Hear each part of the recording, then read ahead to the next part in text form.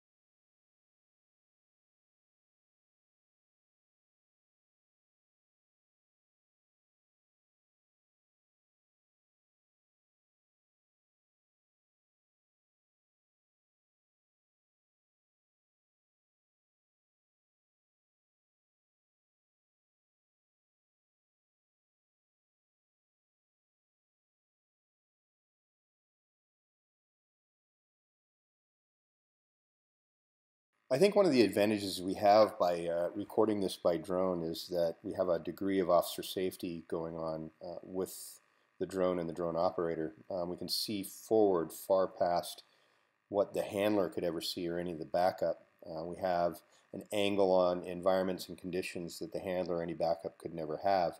Um, this could help with officer safety. It could also help with any situation with the missing person.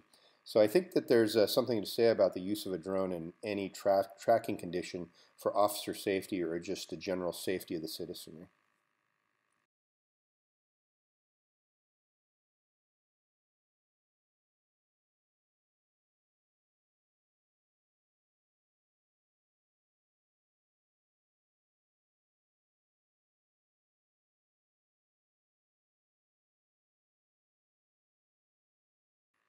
Now right now, Kira is starting to alert. Her pull and her speed have dr increased dramatically. And even by drone, I can tell this. Uh, and as I pan the camera to the left, I'll quickly see our subject ahead.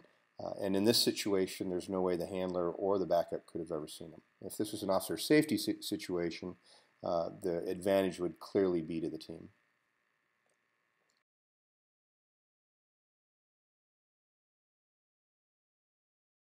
Thank you for watching this GA Canine training video, folks. I hope you enjoyed it. I hope you found it useful. More importantly, I hope you enjoyed watching a really great dog work. Until next time, happy trails.